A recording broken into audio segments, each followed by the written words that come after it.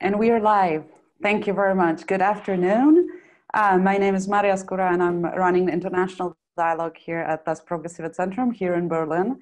And I have the great pleasure and honor to chair the session today, the last session of the 2020 edition of the Progressive Governance Conference that we call the Progressive Governance Digital Summit under the circumstances we have we decided to launch the conference in a completely new format. And so after this experiment of the last four days, I'm happy that we still meet together today in a really good company of 15 people. Thank you so much for being with us uh, in uh, this week. And um, I'm really looking forward to hearing from you. What are your uh, takeaways and what have you learned? Uh, well, this, the purpose of, purpose of this session, actually it has two purposes. First of all, as I said, we would like to reflect on what we have heard um, in, the, in the last four days, starting actually on Monday, because with some of you, I have, uh, we have already met earlier before the official launch of the PGS 20. Uh, so let's think what we've heard, but also let's think how these, um, how these uh, lessons learned um, resonate with our scenario paper uh, the paper prepared for, the, uh, for this conference as a background paper that was presented on Tuesday during the inaugurational session. And uh, so we have around 90 minutes to do that. And these 90 minutes will proceed as follow. We will first hear from Matthew Taylor. Uh, then uh, I will invite also Anke Hassel to a conversation. And then we will briefly um, speak about the scenario paper and then uh, last but not least, I would uh, like to invite all of you who are present in this call to actively participate. This call is not about us, this call is about you. You're also the protagonists of today's meeting. So um, that brings me to housekeeping rules. Uh, if you would want to comment or ask a question, please raise your hand. It's actually possible uh, via Zoom. So please just let me know that you have something to say, or you can also send me a message via the chat function here in Zoom, and I will happily uh, give you the floor and uh, give you the, the, the, right to speak, so to speak.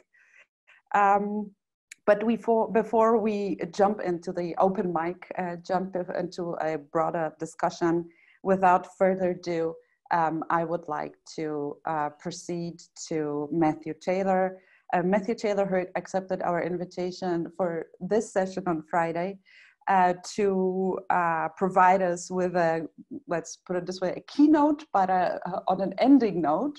Um, he will uh, uh, he will he will now um, share with us his thoughts on the way forward uh, about possible new social contract, about possible mission for the progressives after the COVID uh, COVID um, crisis has passed, Matthew was opening the PGS uh, conference last year.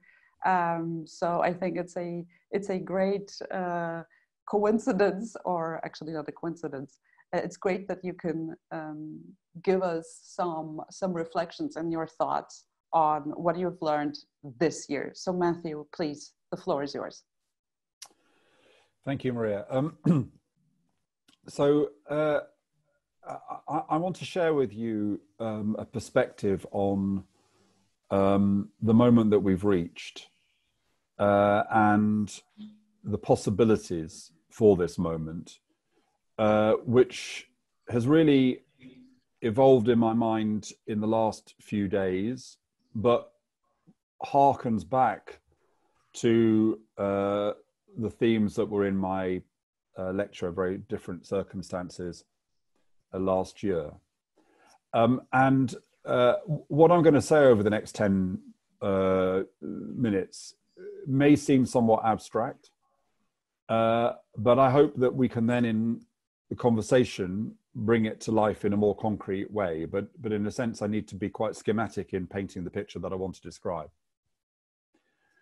Um, so I want to put together two things. One is an analysis of the moment that we're in, and the other is to remind people of the framework which I used last year. When I say remind people, I don't think for a moment people are going to have remembered my great thoughts from 12 months ago. So uh, I, I, will just kind of re- re- repeat the framework that I developed last year, and then I want to put them together. Um, and and this attempt to put together the moment with the framework that I uh, have been working with for many years and outlined last week. That's the new element of what I have to say. So, the, the one way of thinking about the moment that we're in, and of course it's it's run through the conversations we've had all week, is the relationship between crisis and change. And uh, one hypothesis about where we are uh, is that we are once again at the cusp of the decline of a prevailing system in favor of the emergence of a new system. And broadly, we can see this has happened in Europe uh, on three other occasions if we look back over the last uh, 80 years. Uh, so we can see that the post war settlement uh, was a response to the crisis not only of the Second World War, but also of the 1930s, and an attempt to uh, understand what had gone wrong uh, in countries which had led to um, the, uh, the rise of authoritarian totalitarian regimes and then to war, but also to the economic crisis that had underlain that. And so then we have the post war settlement, which is an era when we look back on it that looks pretty benign in terms of economic growth and relatively low levels of inequality and relatively consensual politics. Um, and also the kind of gradual growing of freedom. We then see in the oil shock of the 1970s and the economic problems of the 1970s, and also the sense that some of the kind of welfare regimes that had been established in the post war era were no longer fit for purpose. Uh, we see a moment, um, and there are particular moments the oil shock, uh, America's um, uh, uh removal of the dollar as the kind of underpinning of a fixed exchange rate system. So there are various kind of particular moments. But what is really happening here is the erosion of that post war settlement. And we see then the rise of a system which comes to be called neoliberalism. So we see the rise of a system which, which fundamentally assumes uh, that markets are the most efficient way of doing things and that uh, uh, individualism as a kind of ideology is the ideology of the modern era and the ideology that drives progress. Now, of course, you know, there are different varieties of this project in different countries. And, you know, when I'm talking at this highly generalized level about North America and Europe, you know, it, it, it elides all sorts of differences between countries. But nevertheless, you then see that neoliberal era, which is dominant but is starting to fray in all sorts of ways, both in terms of its political support, but also in terms of its economic and social uh, um, dysfunctionalities.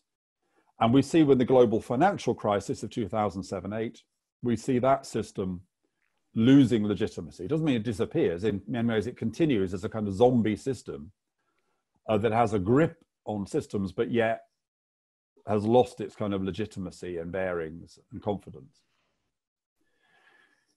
We, we then move into an era where populism becomes arguably, uh, or a kind of despotism, a kind of combination of populism and despotism becomes the kind of most powerful model. And again, not everywhere, but it, it, it kind of makes the weather uh, in terms of it, it, seems to be the project with the greatest dynamism.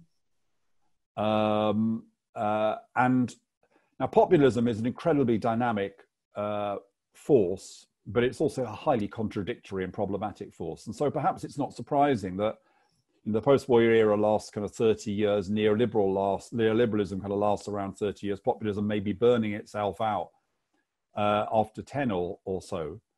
Uh, uh, and by the way, in my talk, I'm not talking about what I think is definitely going to happen. I'm talking about what might happen, and it is certainly possible this is not Uh, uh, the point a point of of a, a, pivot away from populism. It could be an acceleration of populism. That's a genuine danger which we need to discuss and has been discussed this week.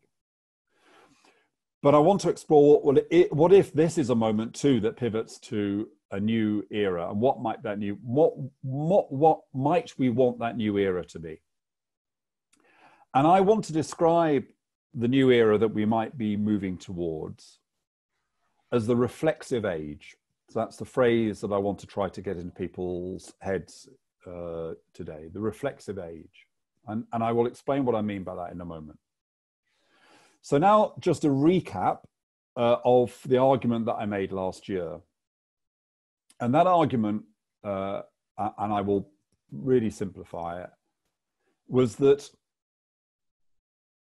sociology, psychology, other theories could lead us to think that it's useful to understand human nature in terms of three fundamental sets of drivers that we are animated by firstly authority. We do what we're told spend a lot of time doing what we're told. Secondly we're animated by belonging. So we're animated by tribe by values by by the being the person that people like us are and then, thirdly, we're animated by some story of our own life, our own personal aspiration, our own journey, our own kind of self authorship, as it were. And what I argued last year was that, and we can perhaps get into this conversation if you want evidence for this, but that the best uh, policies, the most powerful organizations, the most powerful places and times, one of their characteristics is that they, they mobilize all three of these systems the system of authority, the system of belonging, and the system of personal aspiration. And they hold them in creative tension. And that really drives progress. That really drives. So, that is what starts to happen with the Enlightenment. And despite all the problems of the Enlightenment, and of course, the Black Lives Matter moment reveal, reminds us of the deeply problematic nature of the Enlightenment in many ways. Nevertheless, the reason that history accelerates at an incredible pace following the Enlightenment is that for the first time, these with the with the unleashing of individualism, we see these three forces combining. And what I argued in my lecture last year was that progressivism needs to have an account of how we would seek to combine authority, belonging, and individual aspiration in a dynamic system because that at the heart is what makes liberal democracy the most powerful system uh, for human progress. And I argued, however, that whilst that might sound fairly simple in a way, you know, well, this is a very simplistic theory, just these things also follow authority, follow belonging, follow your personal ambitions, and the things will be okay. But I argued that it's difficult. And I argued that it was difficult for three reasons. The first is that each of these forces, the force of authority, the force of belonging, and the force of personal aspiration, are, are in conflict with each other. They are in parts animated by a suspicion of the other motives. So, in a sense, the story of authority is how do we drive progress in the face of the kind of defensiveness and the aversion to change that you see in tribalism? And how do we deal with individuals' messy, chaotic, anarchic personal ambitions and projects. And similarly, solidarity, belonging, always contains a critique of authority, which is seen as being uh, excessive and interposing. Uh, sorry, I have a phone going off in the background, it'll stop in a second. And individualism is a kind of critique of the overbearingness of authority and the, the, the problems of solidarity. So each of these are critique of each other. Secondly, each of them is pathological. That is to say, too much authority is highly problematic. Too much solidarity is highly problematic. Too much individualism, and this is something that I think we have finally realized is problematic um, uh, uh, as well. And thirdly, even when, as we saw with the post war settlement, as we see in organizations, as we see with policies, you do combine these three forces in a dynamic way, any kind of major change in the environment upsets the balance because changes in the environment privilege particular things. You know, when there's a threat, we tend to lean into authority. Uh, when in periods of affluence, we tend to think we, we just need freedom and aspiration. We don't need anything else because everything is going brilliantly. So changes in the environment unbalance this. So it's a constant battle. So that takes me to my, my final point, which is an attempt to put together those two ideas. And what I want to argue is that the age we should be trying to create is the reflexive age. And what I mean by that is an age when we are more aware as human subjects of this reality. We are aware of the characteristics of systems which work. So we think much more systemically at all levels of society. We understand things through the, through the idea of systems rather than through the idea of kind of levers, or, uh, single mechanisms, single interventions. We think of the system as a whole and we have an understanding of the dynamics of systems. And I've offered one way of thinking about a system. But also that within society, within these different domains of society, there is a reflexive capacity to understand the problems with each of these subsystems. And of course, when we talk about hierarchy or we talk about authority, we talk about belonging and we talk about individual aspiration. These broadly, although, although not absolutely, map onto state, civil society, and market. And so the reflexive age is an age where leaders, for example, understand the inherent problems of leadership. They understand the inherent difficulties of authority and they are aware of and deal with that, the need to continuously renew their legitimacy, for example. Um, and so leaders have this reflexive capacity to understand the limits of authority, the dangers of authority.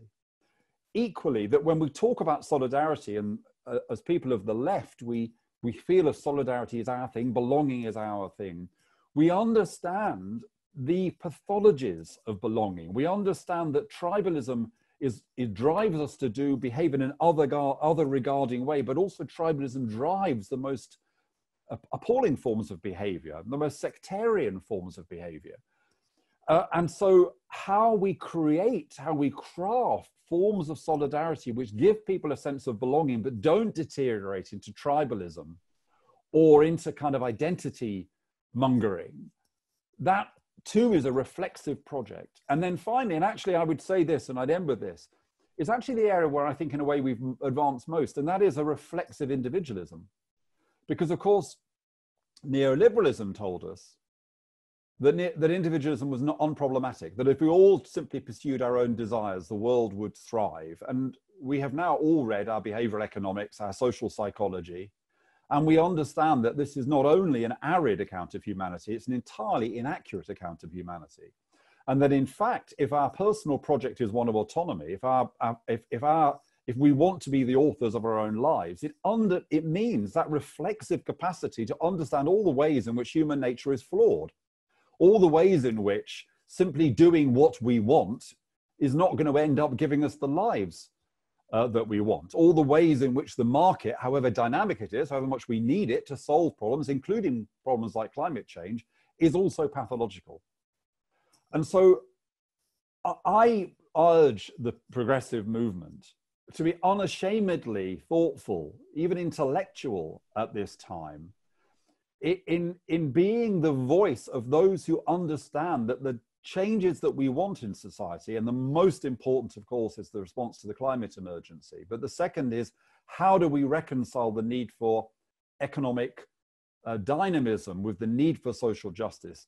That we understand that these are systemic challenges and that whatever our place is in the system, we have that reflexive ability to understand the nature of the task in which we're involved and the system in which we are participating. Thank you. Well, thank you, Matthew, for this very rich, um, very deep reflection. We, you've given us a lot of food for thought for further discussion. Matthew Taylor, Chief Executive of um, the Royal Society of Arts. I'm afraid I forgot to mention your role and function in the beginning, but I assumed subconsciously that in this round uh, you're a well-known figure. So excuse me for that. Um, after this, uh, this introduction and especially bridging the PGS 19 and PGS 20, we understand how important it is to keep this conversation going and to keep, uh, uh, to keep asking us questions. What is the role of progressives and how can progressives shape um, the future and shape it effectively to bring a long lasting and tangible change? And so um, I'd like to bring another well known person in our circles to the conversation now. Uh, Anke Hassel, who is the professor of public policy at the Hertie School here in uh, Berlin. She was also scientific director of Hans Böckler Stiftung, um, so the foundation of the tr German trade unions. And she's also a great friend of das Progressive Zentrum, being a member of our scientific uh, council. And we've invited her uh, to join us today and to respond uh, to Matthew's uh, introduction and to share with us her thoughts on possible ways forward. So Anke, please, the floor is yours. Thank you, and thank you very much for inviting me and letting me be part of this conversation, which I find exciting and also very important. And I think back of the of last year's conference when I listened to Matthew Taylor when he uh, explained his thoughts at the time on of, of the reflexive uh, age.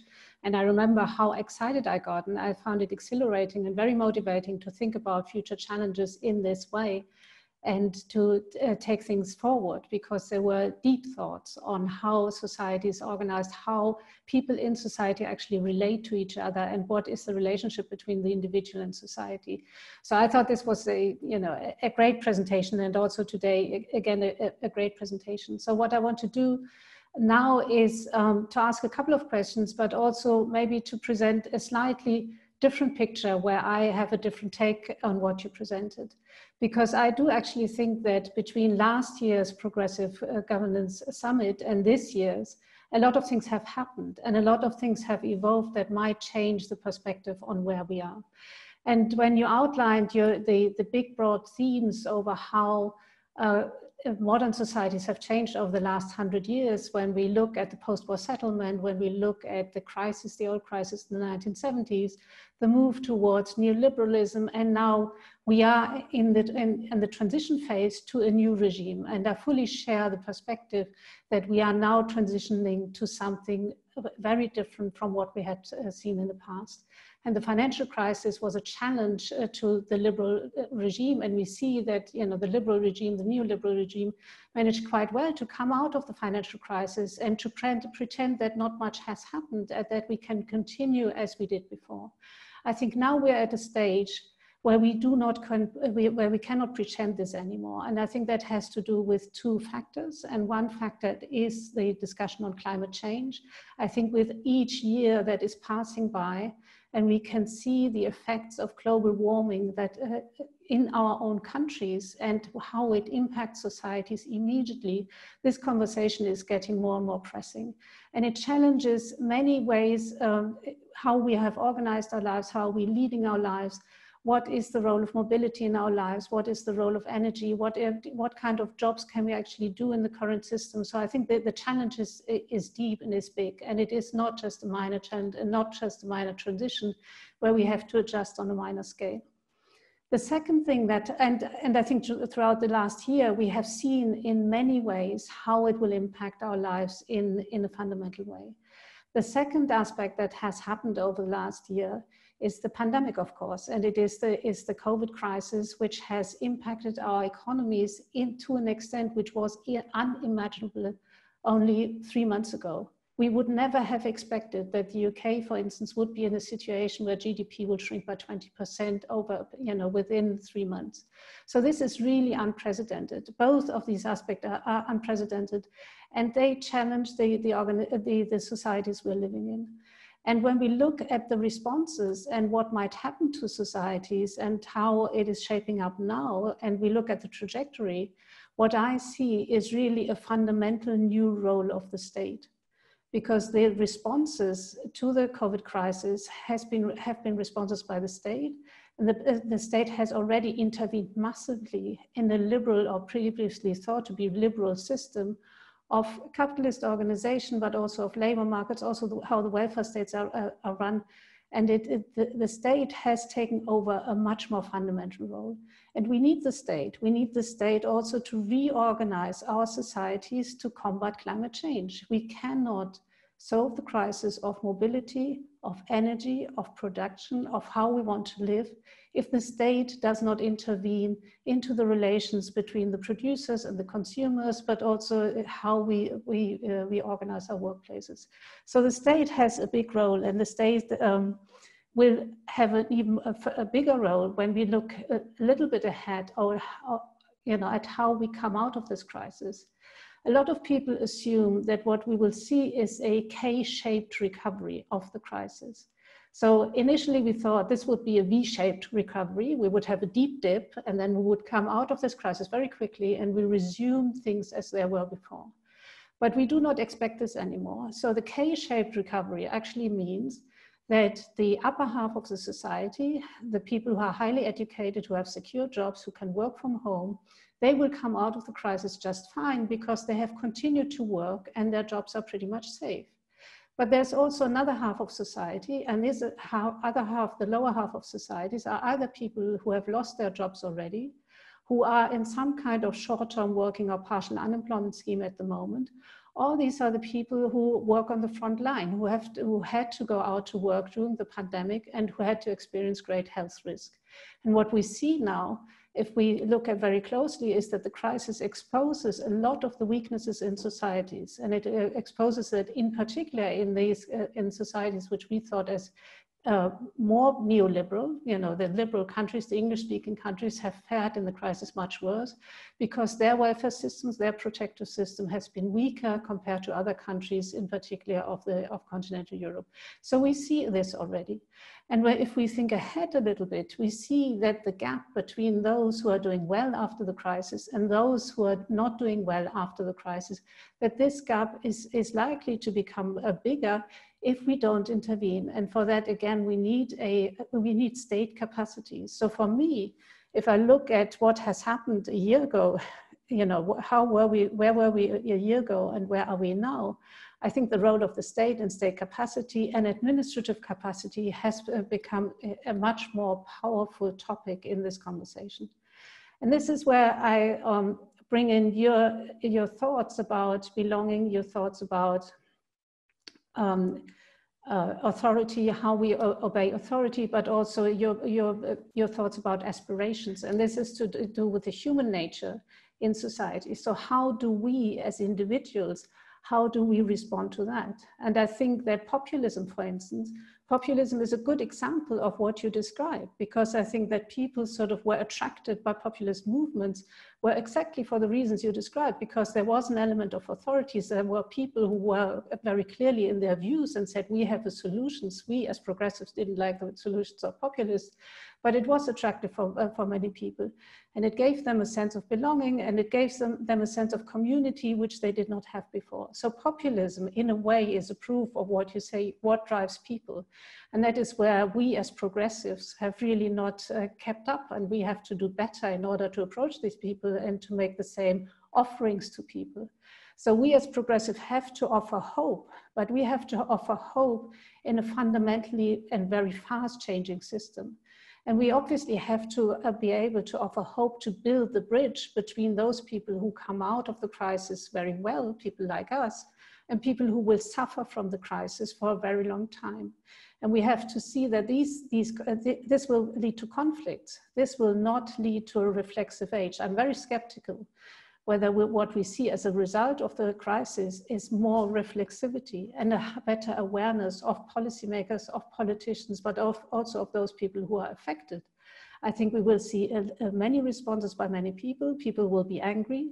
People are already angry at the moment if we look at racial conflicts in the United States, but also in parts of Europe. And this is an anger, an underlying anger, because the unfairness of the system is exposed and becomes very, uh, uh, becomes very clear. So when we as progressives look at this, I think we have to take the anger very seriously. We have to take the conflicts, but also the inequities in societies as we see them developing now very seriously. And we have to think about the state. And we have to think about how can we make use of the state capacities that we have and how can we use them to bring uh, to develop more solutions. So this is not arguing against the reflexive age and it's not arguing against the insights of what you're putting forward, but I think the, the picture has changed. The surrounding picture has changed. Thank you very much, Anke, for bringing this different perspective to the table and enriching our discussion. Um, before I hand over back to Matthew so that he can respond uh, to what Anke has just said, I would like to remind uh, you all, friends and colleagues in the call, that you can also join this conversation. So please raise your hand if you would want to com comment on what has been said or ask a question either to Anke or to uh, Matthew or both of them or uh, anybody. Uh, I, I will, I will uh, note down who uh, would want to join uh, this debate and uh, invite you to do so after Matthew has spoken. So please just raise your hand or, or send me questions in the chat via the chat function. But now, uh, Matthew, the floor is yours again. Yeah, so Anke, that was really, uh, really interesting, and and and and it, I mean, it makes me first of all want to say, look, I, I absolutely want to say I am not predicting the future. I, indeed, I have come to the conclusion, mainly in relation to conversations about technology and the future of work, that prediction is a reactionary activity because prediction is, denies human agency. Prediction says this is what is going to happen. And prediction is often used. Uh, uh people, the Silicon Valley folk are particularly fond of prediction because it's a way of telling people the future is predetermined and therefore what you need to do is lie down and accept it rather than the reality which is that the future is highly contingent and um, and it is up, up to us in many ways to craft that future. So i am not predicting an age of reflexivity or the reflexive age. What i'm saying is that that might be the way in which we want to organize ourselves in order to try to win the, the battle the battle to be the force which determines the next stage of human development. The second thing I want to say is, uh, and I, am not going to respond at length, but you talked about the state Anke, and and I, of, of course, one of the things that people are saying um, about the crisis, and a lot of people on the left are saying this gleefully, is you know this is great because the state has become really important. And you know this is good for social democracy because in the end we want a big state. And that's what separates us from the right because the right wants a small state. I think i want to argue that i don't believe that progressives should have a view about whether or not the state should be big or small as an absolute objective. The objective we have is human liberation. And what we're interested in is the state that we need in order to most assist with human liberation and progress.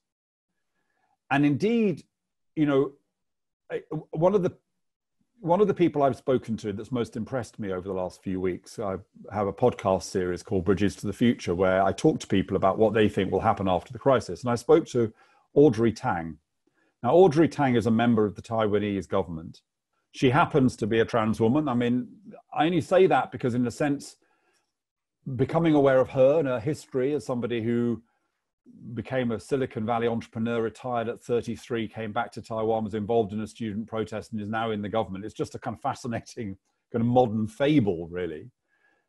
But uh, Audrey Tang talked about why the Taiwanese government has been so effective in the COVID crisis. And she talked about the Taiwanese government's response, which was organized under three principles fast, fair, and fun. Right? I can't I cannot imagine three ideas more alien to people sitting in Britain than the idea that a government response could be fast, fair, and fun. We have had a response that has been slow, uh, unfair, uh, and uh, about as fun as a visit to the dentist. So, um, uh, so what what I think is interesting about the Taiwanese story is that Taiwan went through a moment about five years ago called the Sunflower Revolution, which was a moment when students revolted against the plans for Taiwan to have a trade deal with China and to allow Chinese state technology companies to take over the Taiwanese technology infrastructure. And this was a moment of protest, and it was a moment when people called the state to account and said to the state, This is not the state we want. We do not want a state that does deals with China and has a kind of hierarchical paternalistic model. And so it led to a reimagination of the state, much more civically vibrant. And what one of the reasons Taiwan has done so well in the crisis is because the way it uses technology, the way it engages its citizens is, is highly engaged. And now Audrey, I listen to Audrey, and she is a remarkably progressive, dynamic figure to me. But she describes herself, she describes herself as a conservative anarchist. And what she means by conservative anarchist is that I, I asked her about this she would like a state that, in a sense, dissolves itself because it becomes indistinguishable from civil society. Yeah? So, when I talk about the reflexive state, I want a state that understands that when the state grows, it generates all kinds of pathologies and problems. And that if social democracy sounds like a, a, philosophy that says we are ultimately measured by how big the state is, we ain't going to win many friends, I think, because I don't think many people see that as being the objective of social progress. Instead, the question is what kind of state most empowers us as individuals and enables the power of solidarity to be a positive one in society. Because to go back to the theory that I articulated before, if you think about authority and you think about belonging stroke solidarity and you think about autonomy aspiration and you think about them as having good forms and bad forms benign forms and malign forms i would say that the benign form of each is the one which is compatible with the others. That is to say the benign form of authority is one which maximizes the space for individual freedom and aspiration and self-authorship and it maximizes the space for spontaneous, solidaristic, collectivist action in society, for people doing things together themselves rather than having things done for them. So I think this is a really interesting moment, Anke, because you're right. In one way, it's a good moment for progressives because we understand the state. We're not in, we're not hostile to the state in the way the right is. We understand the state. We believe it can be a force for good. And this is been demonstrated by COVID, and good states with good capacity and good relationships and legitimacy have done best, and chaotic, populist, corrupt states have done worst. But I would say to you, and this is exactly my point about reflexivity, Anke. I would say to you at just this point, when we are in danger of going, hooray, it's, it's our time because we can build an enormous state and solve everyone's problems, we must pause and understand all the perils that are involved in statism and actually say what we want to do is to expand the empowering capacity of the state, which might not mean the same as growing the size of the state, but it means it is means running the state, believing it can be a force for empowerment, which the right does not believe, but understanding that's as much about constraining its natural tendencies as as expressing those natural tendencies. Can I say something? Of Maria? course. Please respond. You were you were really you're really mentioned many times on that address, so please do, and then we will take questions from from others. So I'm I'm not a part of the group who says, "Hooray! You know, the left has won. We're now in a situation where the state can uh, take over, and this will solve our problems." Because I uh, rather the opposite. I, I sorry, you know, I wasn't the, trying to caricature you. no, no, no. Sorry. I know, I know, but uh, you know, the, the the situation is as such that the state will be crucial in how we organize the transition. I do believe that, and that has to do with climate change, and it has to do with the crisis. And we will see we are we are we will be de dependent on good governance much more than in the past. I think that is something we can agree on. Absolutely. I don't think that this is necessarily sort of a, a, a good sign for the left because we say you know we understand the state. This is a great opportunity. We just have to hijack the state, and then we can do all the things we always wanted to do. And this is uh, and we're in a great situation. I don't think that. But what I do think is that when we, and I also believe that we have to find more and better ways of delivering public service in a participatory way. We have to involve people, we have to include people, and we have to bring in people, uh, you know, the thoughts and aspirations of many different, uh, different uh, uh groups in society. So, so I completely agree with that. I just think that if we look at new approaches and we have we see these approaches in in the future of work debate for instance you know where hierarchies break down where organizational models are transformed in very different ways and we see experiments and we see many trajectories in, in different industries, not just in the, in the tech industry, but in other industries where people say, we, we don't want to live in the same way as the previous generations, as my parents' generation, we have different aspirations. We need to change our ways, etc. I do buy into all of that. What I find not obvious, and I think where we need to discuss uh, more clearly what it means is how is that related to the center left, how it is that related to political participation, to the organization of political representation in, in, um, in our societies. Because I do not see this as a genuinely sort of center left agenda. I think, I think this is the agenda we are on. You know, everyone is on this. You know, the right is on it and the left is on it, where this is where the societies are at. And for the center left, if we think about how to include a senses of belonging, how to include senses of solidarity, we have not found a way of relating that to the people we actually want to talk to. Because the people we want to talk to, because we have a sense of social equality, we have a sense of solidarity, these are the, the people who are most likely to, uh, who will suffer from the effects of the pandemic, but also who will suffer from the transition towards a new economy where their jobs will be gone. I mean, the, you know, if we if you look at climate change, if you look at uh, restruct, economic restructuring, if you look at where employment losses will be taking place or have taken place already, these are in groups of society. These, these are the lower middle classes and the working classes where the center left says, you know, these are our constituencies. And I think for them, to say, and I, I, know that you're not saying that, you know, for them to say we are in a reflexive age and we, you know, we have more reflexivity and we have more participation and we embrace these topics in a different way.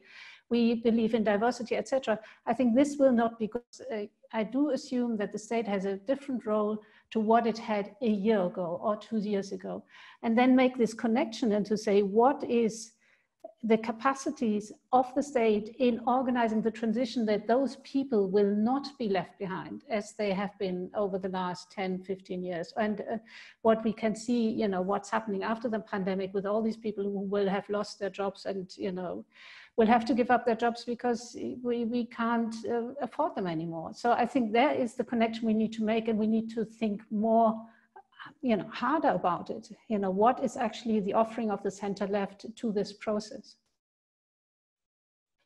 Thank you. So um, our discussion develops in a very interesting way with even more questions that we started with. Very good. And I'd like to invite um, more voices to our conversation. And we start. We will start with Marc Saxer, uh, who actually already in the very beginning of the pandemic has uh, published a text in which he shared his, his thoughts on what the future can be and the progressives, what they can do with it. So, Marc, we are uh, looking forward to your uh, to your contribution and a, um, a big uh, request to all who will join us. Uh, please just briefly introduce yourself so that we are all on the same page and we know who's speaking. So, Marc, uh, please, the floor is yours. So hi, my name is Marc Saxer. I'm actually with the Friedrich Ebert Stiftung Asia department, uh, but probably not the reason why I'm in this call. Um, I think I, I, contributed a little bit to the discussion that we're having right now. And uh, thank you, Matthew and, and Anke for going right to it. Uh, I think the big discussion that we're having is this crisis a turning point or is it not? Um, is it actually leading the way into a new, new era, it or otherwise, or is it not? And I think uh, what was interesting about both your points uh, was that you have pointed to the puzzle of, of 2008, uh, the strange survival of neoliberalism uh, back then for pretty much the same reasons. You know, the market failed, the state is back. Uh, neoliberalism was already declared dead, uh, and it returned with a vengeance, right? the polarization of wealth and power actually accelerated. So the question is really, uh, is it different this time? And uh, we are facing, and I'm, I'm very much uh, uh, agreeing with Anke here, we're going into a massive distribution conflict uh, over the cost of the crisis. In Europe is going to be to the tune of 4 trillion euros uh, that have to be paid by someone. And I think we should no, make no mistakes that neoliberals are calling for the next round of austerity. Uh, we all know what the consequences of that would be in terms of democracy, especially in Southern Europe, uh, in terms of the society, inequality, and so on. So I think the, the interesting point, uh, and I think uh, we heard similar points by Dani Rodrik uh, as well as Paul Mason in the conference, um, is does the balance of power shift? Is it different from 2008 going forward, or is it not? And I believe that we are at a critical juncture right now where we can see a reconfiguration of social forces. And that has not so much to do uh, with the pandemic and much more to do with the underlying geopolitical and geoeconomic trends. I'm referring, of course, to the hegemonic conflict between the US and China. I'm refer- uh, referring to uh, the decoupling that we see, onshoring, reshoring, nearshoring, deglobalization, and so on. I think it's all a bit overstated. We are not going into a deglobalized world, but I do believe that we're going to see the emergence of competing blocks.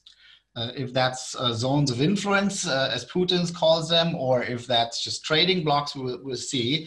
But I think um, there is a paradigm shift, a redefinition of interest in Europe, and that is that the European market uh, is going to be absolutely crucial for the survival of uh, also the exporting uh, industries of the North. And I think if we look and listen closely to what we've seen, referring to the German, French, and Italian uh, industry federations call uh, for bailout for the South.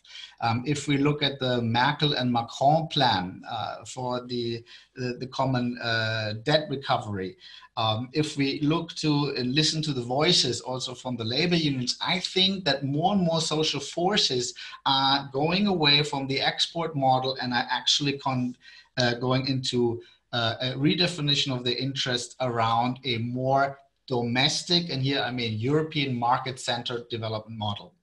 And I believe that this is the biggest opportunity for progressives in decades. Matthew, you basically uh, laid it out. We're going back all the way to the late 70s when the late para uh, paradigm shift happened. This is the next paradigm shift where we can actually capitalize on the reconfiguration of uh, societal forces around a new platform which goes away from globalization uh, um, as an end in itself, but basically looks at the uh, demand driven development model and focuses on the domestic European market. And this will open the field for progressive projects much more than anything we've seen in decades. So, my, my point here, and this is also my question, is please um, we, we need these big narratives, uh, but uh, please focus on the political economy because we cannot afford to lose this opportunity once more. Thank you very much, Max and uh, Marc. And uh, looking at the questions, we actually have more uh, in the line. So um, I would suggest I will bundle them in pairs uh, to make sure that we have enough time to address all of them. And now I will ask uh, uh, Ophélie uh, to come up with her question. Ophélie, the floor is yours. Please introduce yourself briefly and um, continue with your contribution.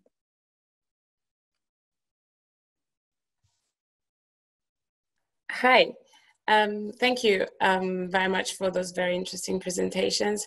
Um, so I'm Ophélie. Um, I'm a federalist uh, activist. Um, I've been uh, for a couple of years um, recently visiting fellow as, at Das Progressive Zentrum. Um, and I got quite struck by something that Anke Hassel said uh, about this anger that we, we, we see and we witness from the people uh, after the pandemic in, in different um, yeah, different aspects um, of society, whether that's um, racial aspects, whether that's economic aspects, but, um, and, and, and really we, we can see this anger emerging, some of it being already present, um, um, like already there, but not really tackled, some of it being created by, by the pandemic itself. Um, and I very much agree that we can all feel this this anger in our societies, and, and at least um, here in France, you, you can feel that the, the social climate is is quite complicated. Um, and you were mentioning the role um, of the state in in rebuilding um, societies, um, and I would say that at least for now, we we sort of witness that the state doesn't really seem um, able to to answer to this anger um, and to this this social um, critical climate. Um, and I was wondering if you already had some something you've already had some some thoughts or, or some practical actions that progressives can actually um, implement to um, to channel this anger because I think that there is there could be a positive um, outcome in being able to channel um, the anger and um, re- like making sure that we can achieve some some some critical changes out of that which would be positive changes. But i also fear that if we don't manage to channel the anger properly then it could be left too populist which would uh, then um, endanger democracy very much. So i would like to hear your thoughts about that Thank you, Ophélie. So, Anke, would you like to start? yes, and and I, I will start with Ophélie and and her question. You know, how should progressives um, um, respond to that? I think the the way that governments have um, responded to the crisis, both in terms of health policies, but also now in economic terms, they all have distributive impacts and they all uh, you know favor some groups of society and they all discriminate against other groups of society. And we can um, we should look at these recovery packages and we should look at how they impact different groups and societies and we should definitely look at how they impact those groups who are vulnerable and, and and I sort of said who these groups are. I mean, you know, we have young people, we have uh, ethnic minority people, we have people who have to go out and and uh, work in frontline jobs in essential services. We have people who lost their jobs and people who might be excluded, and we have the young people. I mean, young people will be hit by the crisis much more than. Uh, than middle-aged or old elderly people. So we should look at these um, different effects the crisis has on different groups of society, and we should really call out governments on how um, their recovery packages impacts and to what extent they are able to compensate for losses that these groups and societies have made. So that is one sort of very clear way of how progressives could look at it and say, you know, we know what the different effects are we know what should have should happen and we can call out governments uh, you know to to respond in a better and in a fairer way. And we can develop criteria what would be a fair response?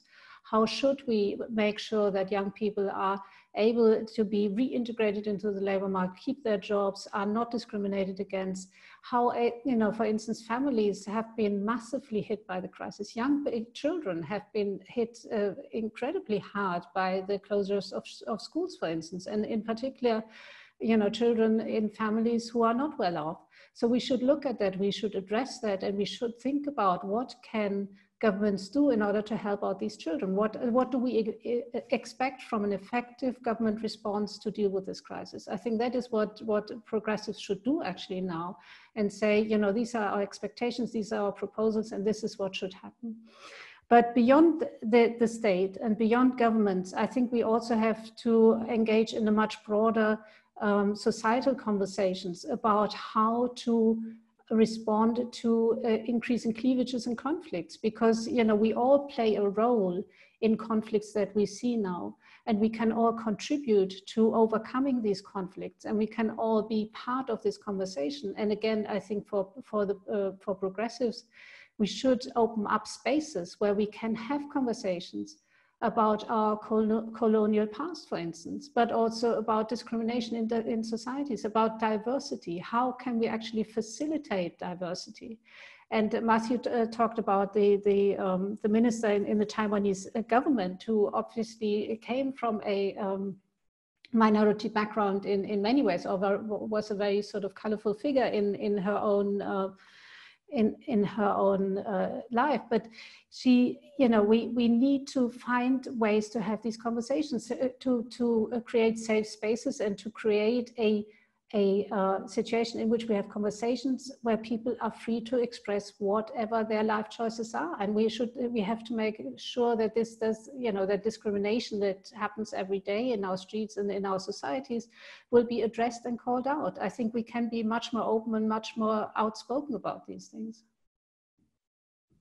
Thank you much for uh, thank you very much anke for bringing also that uh, important topic.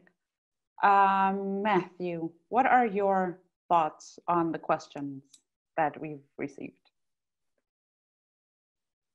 Uh, but uh, please just uh, yep, demute yourself.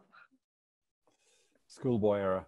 Um, okay, yeah. So, in relation to Marc's question, um, I would argue that what we have seen is individualistic globalization, by which I mean financial globalization. So we've seen market globalization. And we have seen hierarchical globalization in the sense of the creation of governance institutions, generally speaking, detached from legitimacy. Uh, and so those institutions are not loved. Um, they don't have deep roots. And what has been missing from this story is the global uh, uh, a globalization of belonging. That is to say, a globalization based upon a changing understanding by citizens of the tribes to which they belong. And that has led to globalization which has been dynamic, but also unbalanced and malign in many of its consequences. And also, as we have seen in the last few months, fragile in some very important ways how do we go forward in this? My view is not so much that we should seek to reverse globalization, but that we should seek to balance it. And what that means is that I think we need to think about how we introduce the solidaristic domain of glo globalization to balance its market form and its hierarchical form. And I believe that, and I think this probably chimes with what you said, Marc, I believe that the only realistic way to do that is to have a policy which says we are explicitly closer to, more willing to trade with, more open to those countries who share our values. Um, and therefore, that uh, uh, we should be unashamedly saying, for example, when it comes to trade, uh, that we will want to trade with countries that share our commitments on climate change or labor protection or whatever, and that we will impose those standards and say to people, if you want to trade with us, if you want economic globalization with us, you have to recognize the importance to us of our value systems. And that's something we have to work, we're going to have to work through. So I, I agree with Marc in a sense that I think that it may be that the next stage of globalization is one that is around uh, these kind of three poles of China and America and the European Union. And I think that the progressive position um, is not to be anti globalization, but is to be in favor of a globalization which is more balanced and which is underpinned by a set of values which we should adhere to more firmly and with more courage than we have done in the past. We have we've paid lip service to this, but we haven't stuck with it. I understand that, that, that there are problems with all of that, and you know, maybe we can talk about those about then, you know, what, what, what right do we have to impose liberal democracy on others? Well, I don't think we do. What I'm saying is that our task is not to change China. Our task is to say we will work most closely with those who share our values because those are our values. And because if, if globalization is not about being able to hold on to your values, if globalization is seen as something which undermines your values, then it will lose legitimacy in the way that it, it has done. And then in relation to Ophélie's point um, about anger, I, I, just, I mean, I, I would say what I said before, which is about what we need is a kind of reflexive form of politics and authority. And I do believe actually that, that part of the role of politics is a quasi-therapeutic role. The good politics is partly about, as it were, putting the public on the couch, a public that is angry and confused and enabling that public to understand more richly what is going on and to understand that you know solutions are difficult. And not only are solutions difficult but that most solutions involve citizens themselves participating in those solutions. And if that sounds naive i would simply refer you to the growing evidence about deliberative democracy. And it is absolutely clear that deliberative democracy, which engages people at all levels of education, all different types of society, and brings them together over a sustained period to hear a variety of arguments, to be informed about an opinion, and then to reach judgments. That overwhelmingly, and in stark contrast, I would say, to representative democracy, deliberative democracy works. People enjoy it, uh, people are able to collaborate, and they come up with ideas which are generally speaking good ideas and which can then help representatives, because ultimately we have to have representative democracy. You can't run countries through deliberation. But deliberation is a kind of therapeutic form of democracy. People enter into it one set of attitudes and assumptions, and they go through it, and their attitudes and their assumptions develop, and they develop, and they change. And this is an idea that was there at the origins of democracy, but which we have lost. Um, and so I think the only way you work through that anger Ophélie is to have a form of democracy which recognizes that democracy is a space in which people grow and develop, in which people are able to transcend their anger rather than simply to parade and to display their anger, uh, or a space in which politicians merely pander to people's prejudices. Thank you. Um, let me bring uh, some voices and questions from the platform to our conversation. And so um, an interesting, an interesting question reads as follows. Uh, it would be great if you could comment on the perspective by Matthew Goodwin, who argued for less identity politics from the left and a new mindset regarding compromise or dialogue with the currently a culturally conservative or insecure segments in our societies. So that's uh, first question that came to us through a platform. Thank you very much for submitting it. Uh, the next one uh, inquires about how do we square all that uh, with the rise of misinformation in the West? If there's less of objective reality to base arguments on, how do we reach out to each other with compromise and then move forward? So um, a little bit uh, to the direction of the first question. And then uh, please allow me to uh, also invite Andra, uh, Andreas Audretsch to our conversation, who also wanted to um, ask you, also with regards to those questions from the platform.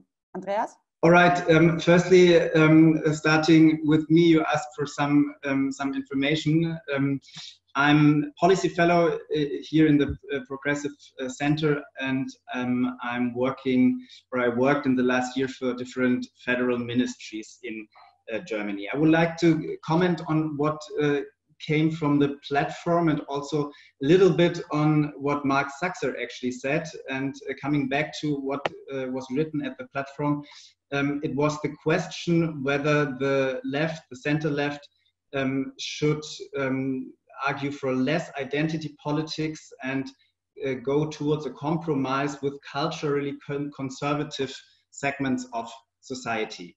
And that's a question that always, always comes up when we are talking these, uh, about these things and when we are talking in progressive center-left uh, communities.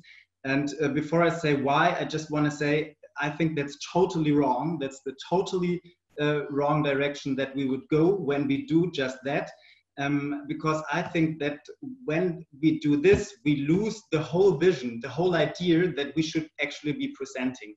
Um, when you ask me, I think that the, the big question uh, is at the crossroads. Are we going towards saving privileges of some people, or are we actually going to um, to start realizing a vision of equality for all? That's the huge, the big questions that we have to to uh, to answer. And um, the right-wing populists that we see, um, they are always arguing uh, in favor of privileges of some people. So privileges of Christians, privileges of uh, white people, privileges of men, privileges of heterosexual people, privileges of people that have a lot of money at the moment and economic power and so on.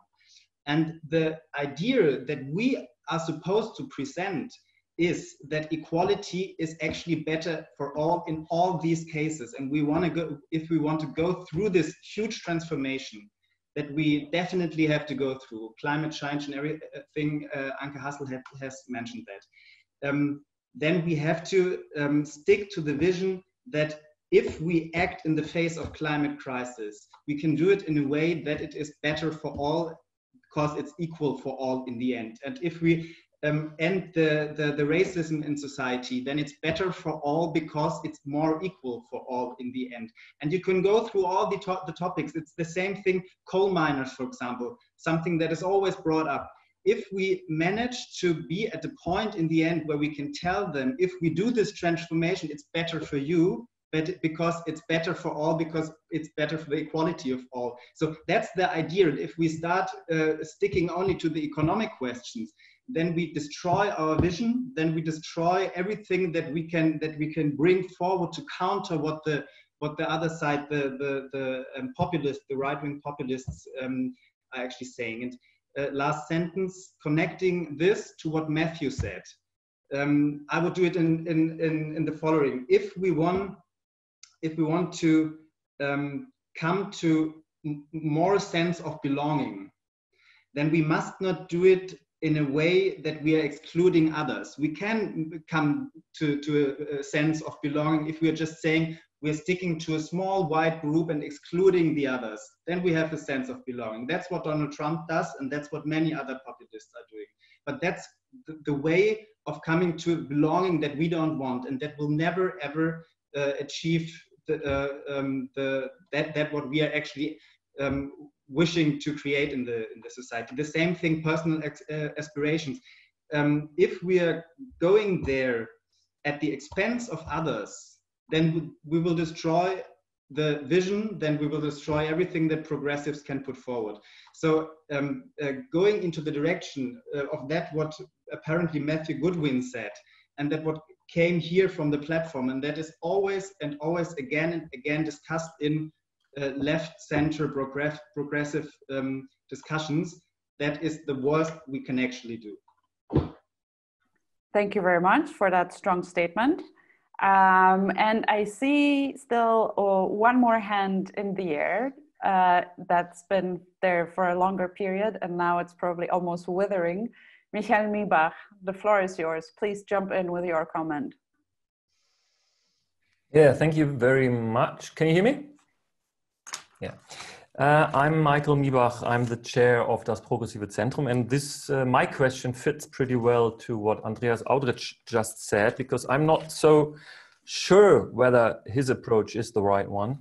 Uh, but first, let me start with saying that I found both of your presentations very, very inspiring. And I found it uh, good that you uh, led us to understanding, Matthew, that COVID is not uh, only changing the economy not only changing the role of the state, but also cultural dimensions of how our society works. I found that very, very inspiring.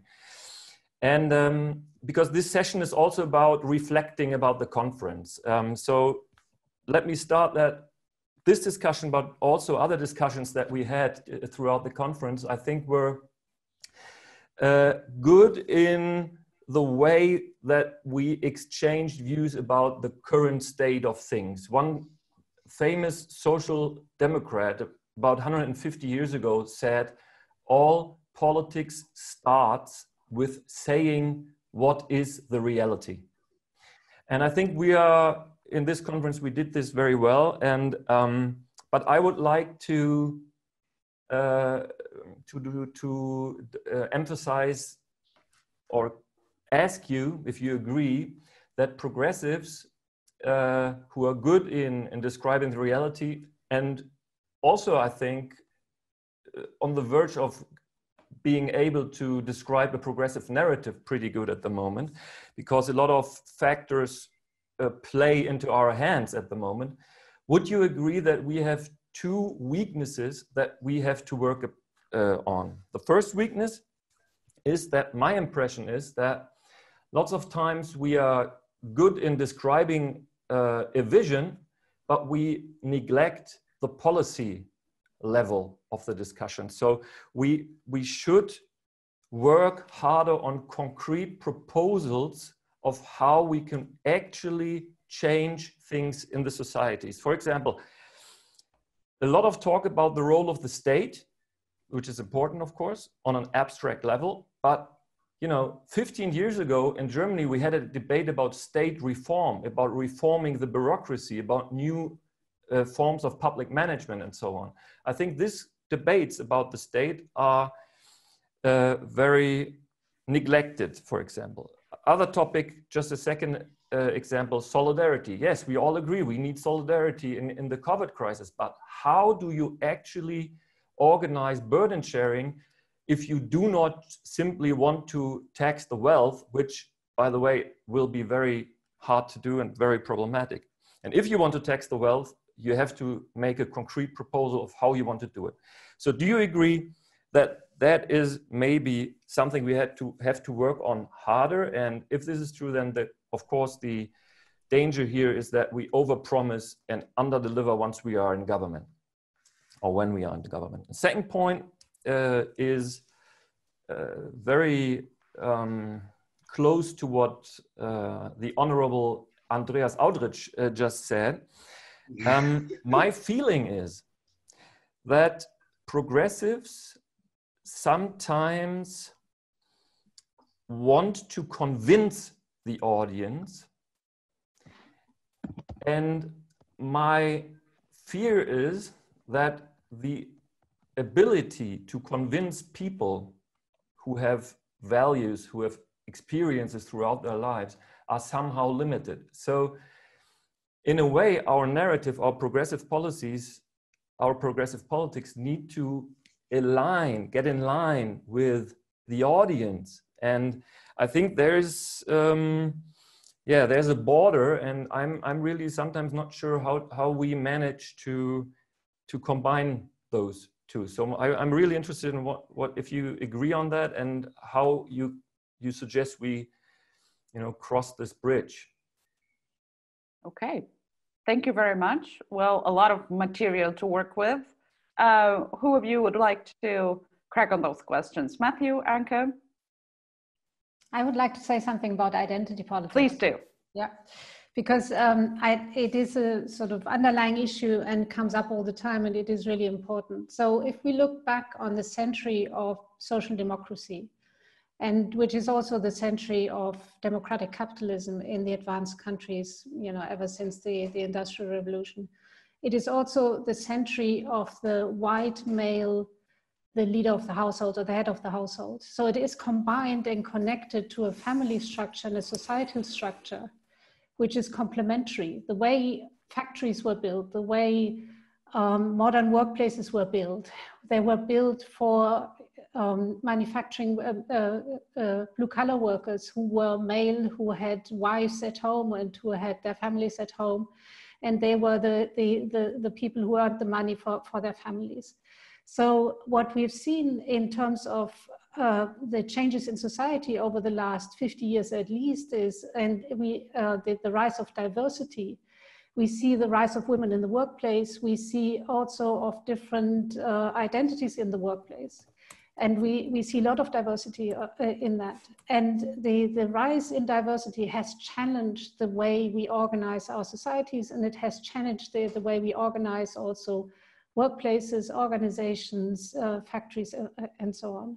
And I think that is the big challenge. You know, how can we coexist or how can we make diversity work, not only in the labor market, but also in society as a whole?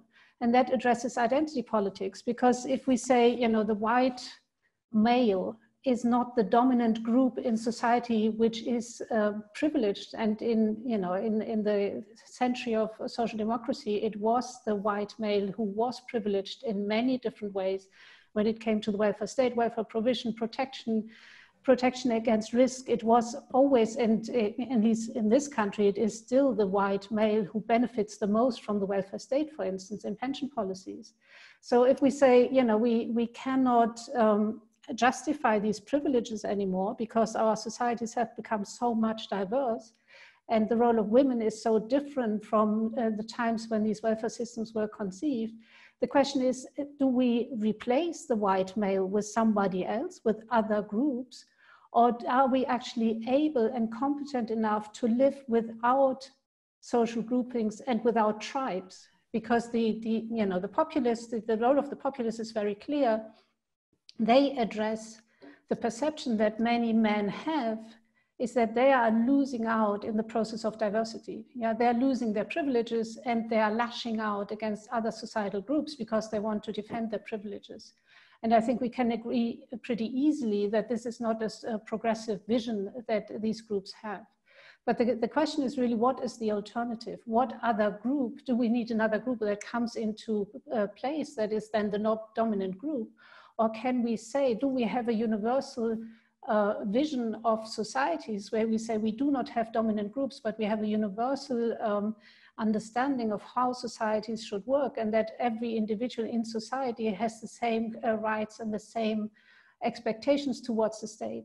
If that is the case, we have to really have to restructure a lot of our institutions because a lot of our institutions still protect the white male in their positions, either on the labor market or in, in, in social security institutions, etc.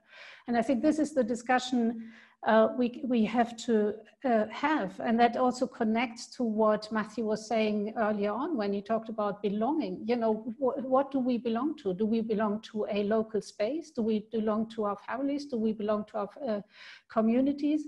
And how do we define these communities? And that is when we start sort of talking about identity politics. Do we identify primarily as being gay or heterosexual or as being a woman or a man? Or, and it, while in reality, all of us have all of these identities. You know, we have several identities and we have to combine um, a, a, number of different identities and uh, in ourselves. And it, you know, if we start to have a political discussion to say, you know, for me, the sexual orientation is my, my primary identity, and I want to fight for gay rights. And this is really, you know, where I'm acting politically. I think this is a dead end. You know, we really have to come to a much more universal and much more diversity-driven understanding of uh, policy making and also forging political coalitions. And that it would be my, my answer to, to, to identity politics. No, we should not go down the route of identity politics. Thank you so much. Matthew, what's your take? Yeah, I mean, uh, wow, this is. I'm exhausted. I think my first take is I'm just exhausted by. I mean, this is a really big, uh, complex set of issues, and trying to way find a way of of responding is hard. I, I so I, will make two points. I, I, I want to make first a response to to Michael, who who urges us to think about policy uh, in more concrete terms. And uh, what I would say towards that is that uh, there is actually quite a strong evidence base um, that policies that work are policies which fit the template which I described in my speech. So that is to say, they are policies uh, which uh, combine being well designed based upon competence and expertise, that's the authority part. They are policies that are seen to be legitimate. That is to say, the public understands the policy and understands the reason for the policy.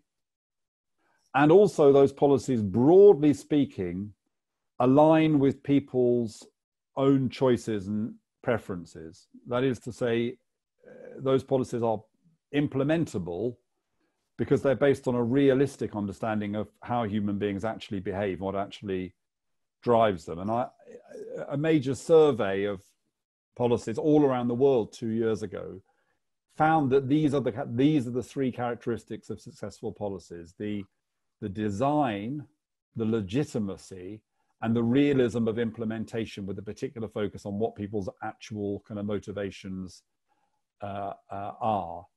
And I think that one of the implications of that is that when we think about policy, we need to make sure that we don't try to drive policies that don't meet those kind of quite tough criteria. Criteria. So, to, to make this concrete, uh, to give this a concrete example, I uh, am a supporter of universal basic income, and the RSA is, you know, globally one of the organisations that's uh, been very much part of this debate about UBI. But yet, if Boris Johnson was to phone me tomorrow, uh, perish the thought, but if Boris Johnson was to phone me tomorrow and say, Matthew, I've been reading the RSA stuff and I'm going to introduce the universal basic income, I would say to him, no. I would say, please, please don't. because universal basic income does not yet have the legitimacy that it needs. And it doesn't even have designed into it the, four, the, the, the kinds of expectations and norms that you would need in order for it to win that legitimacy. So if universal basic income was implemented tomorrow, I, I think that it would founder very, very quickly because it's a massive policy and it requires social mobilization, social conviction for it to be, uh, to be successful.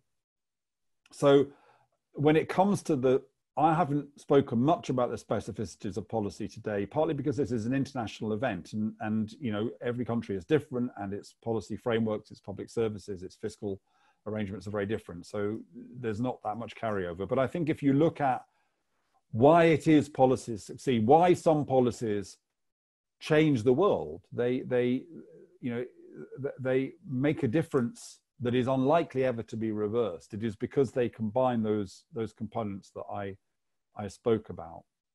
And then in relation to Andreas's point, um, which how can I? I mean, I just disagree. I have to be frank about it in the sense that I think that a, an appeal to absolute equality and universalist belonging is, is unlikely to succeed.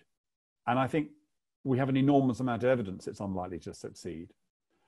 And it won't succeed because neither of those ideas are ideas that any that most of us actually want to operationalize in our own lives.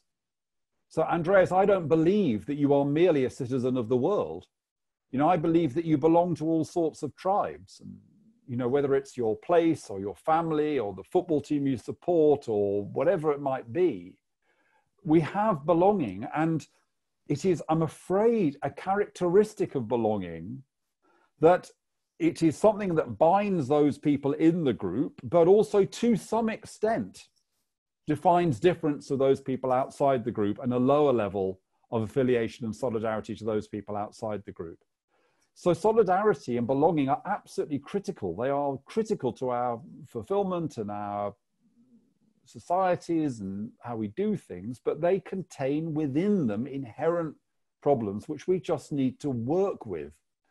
And so when you look at something like Black Lives Matter, for example, matters, for example, Black Lives Matter, you you need to understand its incredible power and its massively overdue moment and the opportunity it provides for us to redress inequality and for us to try at last to understand the way that privilege is embedded in the way that things are.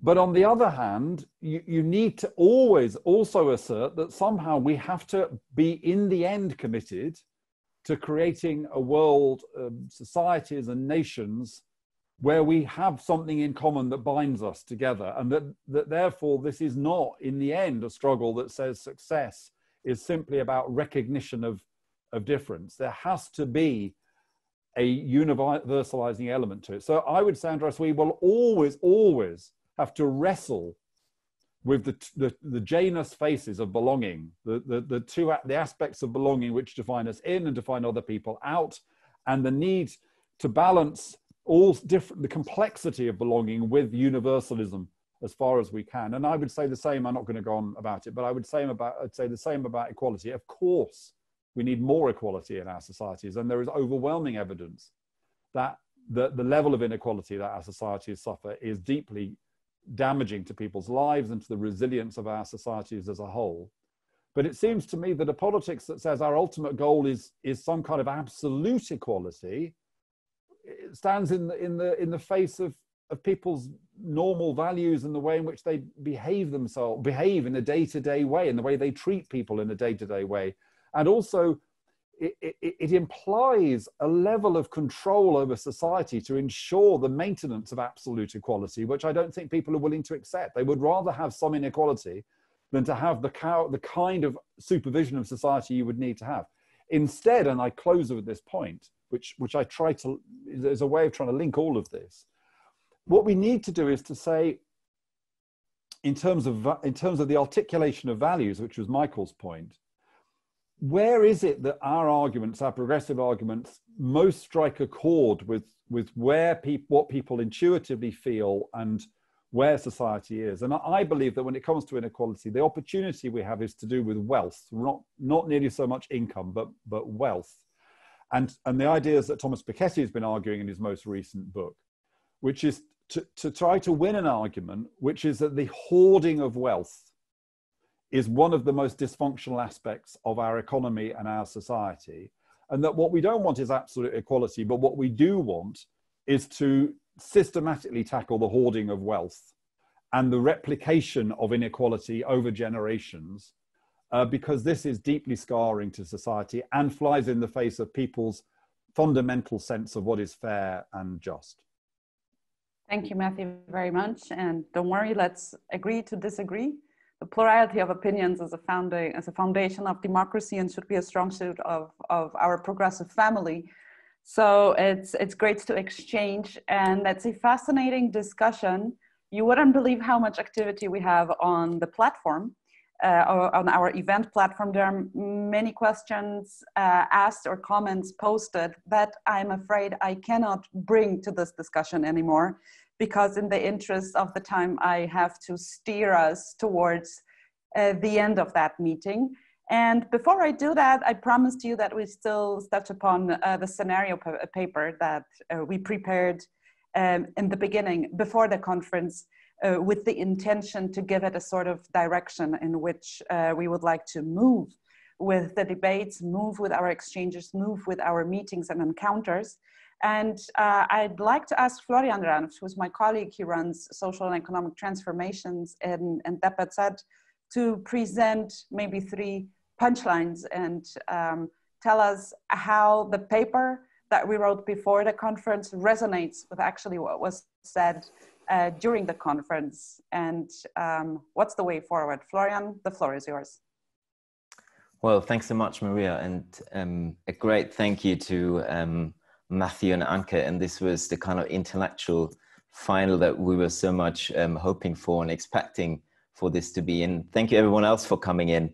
Um, and as Maria um, kind of like just pointed out, in the run up to the conference, Matthew, especially with your contribution from last year, um, we were thinking, okay, we find ourselves in a very stressful and a very a challenging situation as societies, um, as individuals, and as an organization.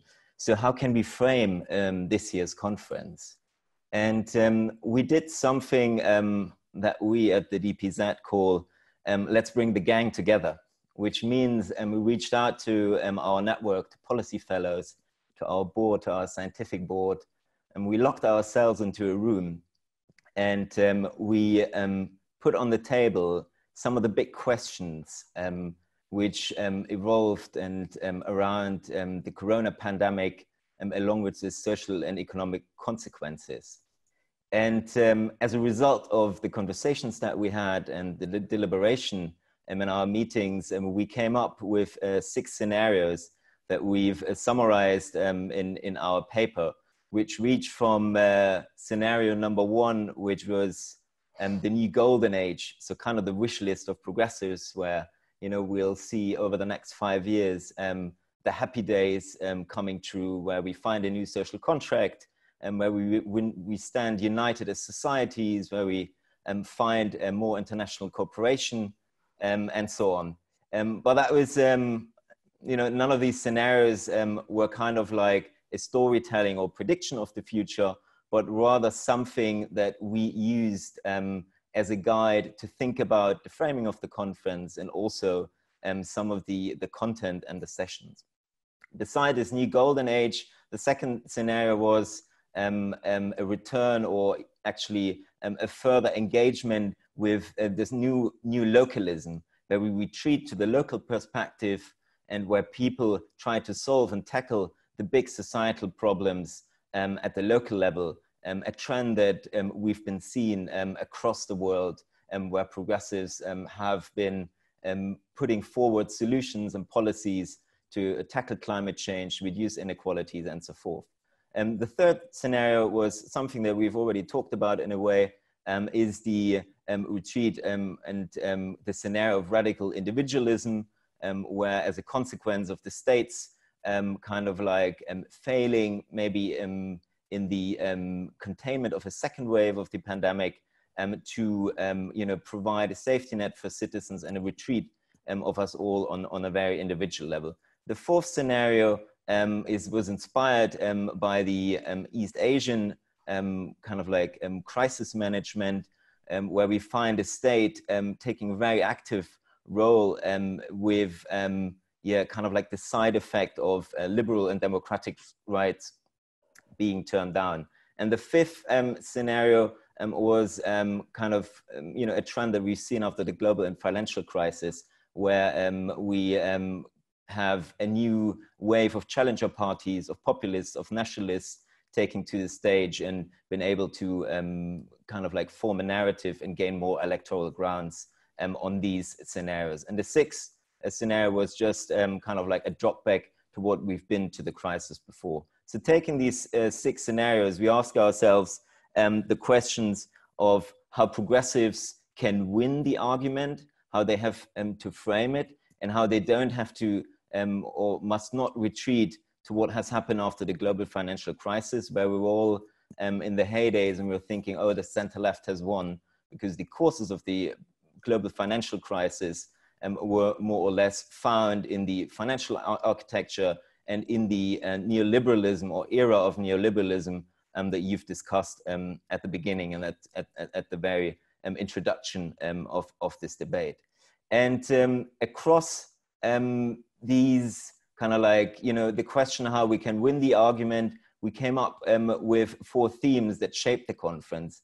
And um, actually, um, the idea was um, to ask you a question now um, and something that um, we've, I think we've learned and that's kind of like open and hasn't been touched up on debate was the question of where do we see are the new forces emerging in society which now have or will lead and change um, these ideas and the kind of progressive policies that we've been talking about. We had a very engaging conversation in London with Franziska Brantner Matthew um, about how climate activists um, have uh, taken to the streets and successfully um, brought the climate emergency to the forefront of politics.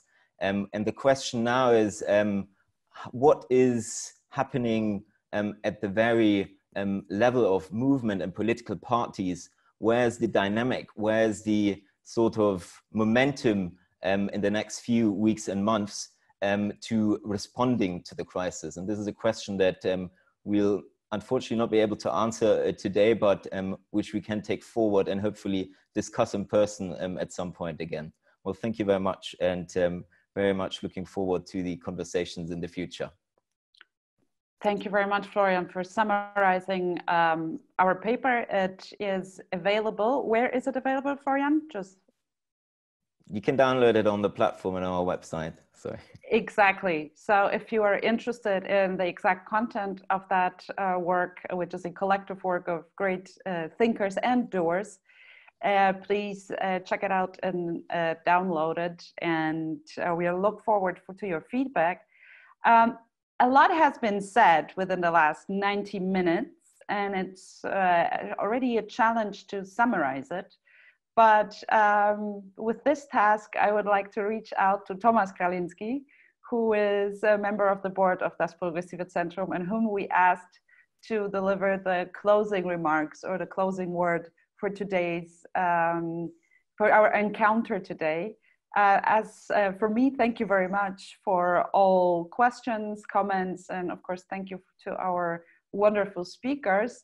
And Thomas, now the floor is yours, and I look forward to to hearing uh, what's your take and what are the what are your takeaways and what are the lessons learned from the debate today. Yeah, thank you for the introduction, dear friends it's really difficult to summarize an entire week within a couple of minutes.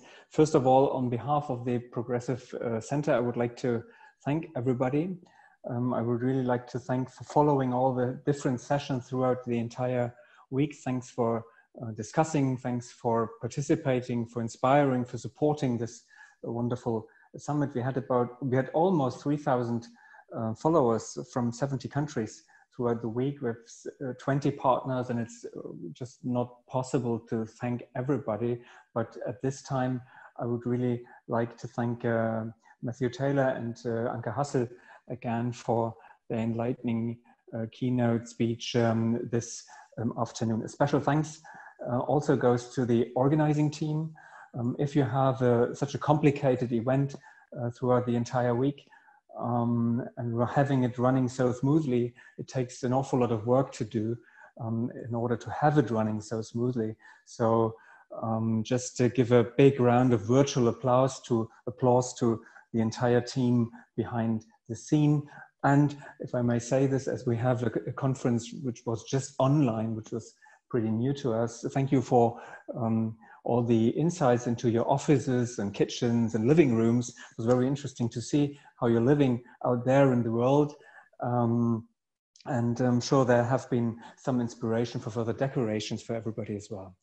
Um, just let me say, in the last couple of days, we have been talking about um, uh, important questions how a future society may look like, like, or rather, what can we do um, in order to have a society that cares for everybody, that is sustainable, that is inclusive, and that offers decent jobs for hopefully everybody. A society that is about trust and hope and promise and not about threat and uh, fear. And the six scenarios Florian just um, explained again, I think they painted a good picture um, what is really at stake and what is all this about. Throughout this week, we I think we all got the notion that there is no going back to the good old times, whatever they have been.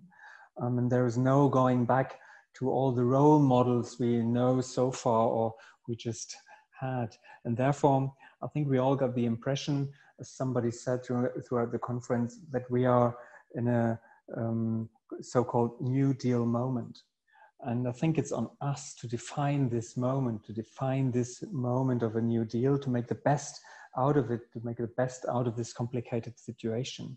And it's on us to find solid uh, strategies as well as to build broad coalitions of different political families in order to bring those strategies into, um, into practice, to win the public argument and to win uh, public, uh, to win public uh, support and I'm pretty convinced after these days, I think this could be, this can be our moment when we're getting it right.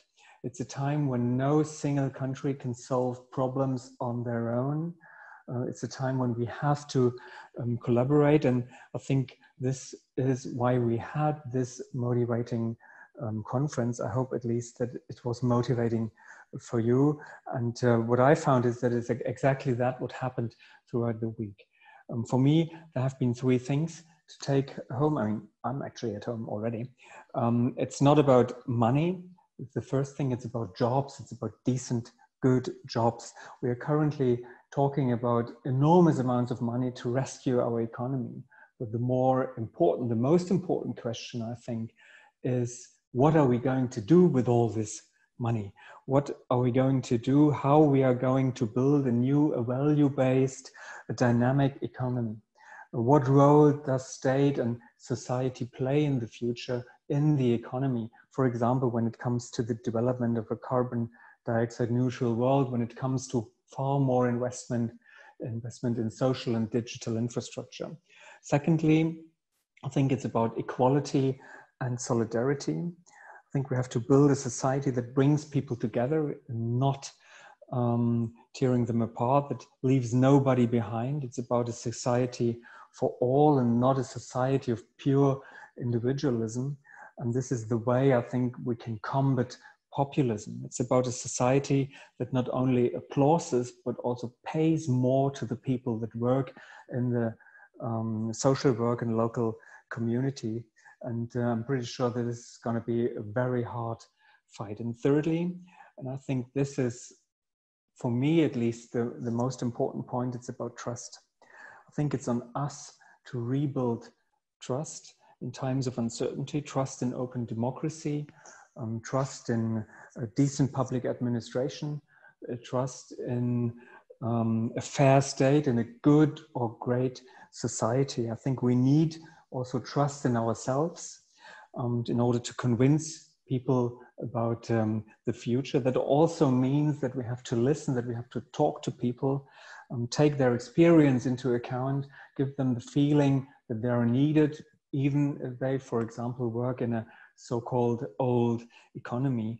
And uh, to convince them, I think um, we're there um, and we have to take uh, show them that we are there at their side to solve problems to make their life to make every uh, everyday life a little better day by day.